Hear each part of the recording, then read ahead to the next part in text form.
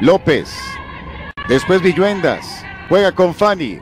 ¡Ah! ¿Qué pasa, Fanny? No, no, no, no, no. ¿Qué pasa? Y después la jugada continúa y es gol del Toluca. Nos quedamos justamente observando qué le había ocurrido a Fanny Jiménez. La pelota siguió en juego. Aguanten. La arquera está lesionada. Aquí está. Pisa mal, caray.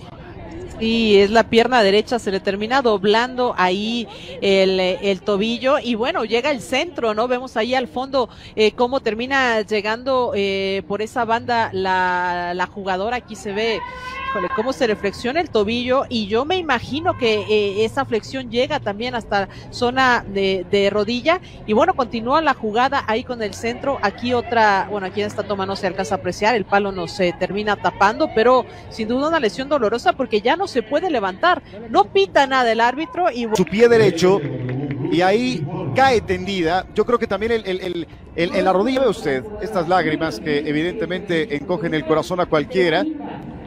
Es, es el dolor, no solamente el físico, sino el emocional, caray.